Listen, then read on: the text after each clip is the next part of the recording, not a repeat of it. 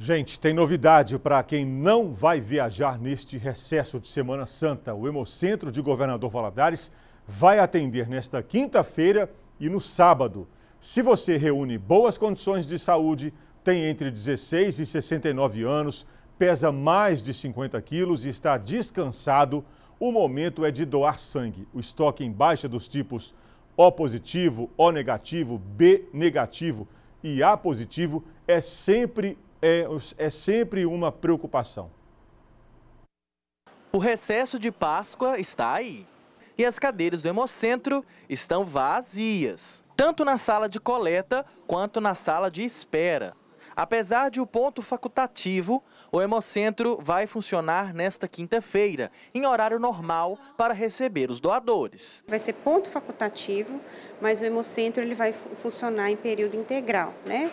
o dia inteiro, no horário normal, de 7h10 até às 16 horas, no atendimento aos doadores de sangue. Enquanto nossa equipe estava no local, chegaram alguns doadores. John é um deles. É a segunda vez que ele veio doar. Tive interesse porque eu tenho a oportunidade de estar tá podendo ajudar a salvar vidas, né?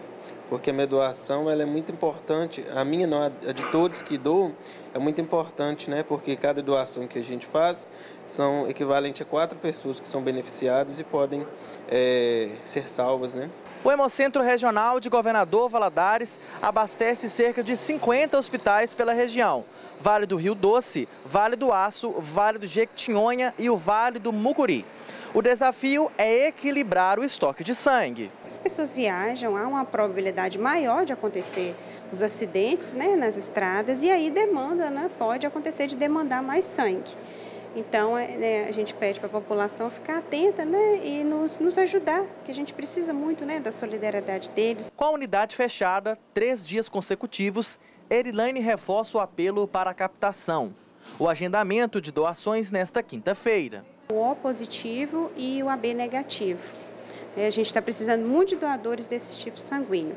Então a gente convida e convoca né, quem for ficar na cidade, quem vai passar o feriado aí, para poder realizar o agendamento no site do Hemominas e vir realizar a doação de sangue, porque a gente está precisando muito deles. Magnólia veio doar pela primeira vez. Ela sabe que o feriado impacta no estoque de bolsas de sangue. O ato de solidariedade é para uma amiga. A minha vizinha sofreu um acidente doméstico, né? Aí o meu sangue é compatível com o dela. Aí a filha dela é, anunciou a campanha, aí eu me ofereci para doar. Você acha, e agora que você está aqui, você tomou coragem, pretende fazer isso mais vezes no ano? Sim, sim. Porque é a primeira vez, né? A gente fica um pouco assustado, mas para mim tudo isso aqui é novo, né? Mas eu, caso alguém precise, vou doar sim.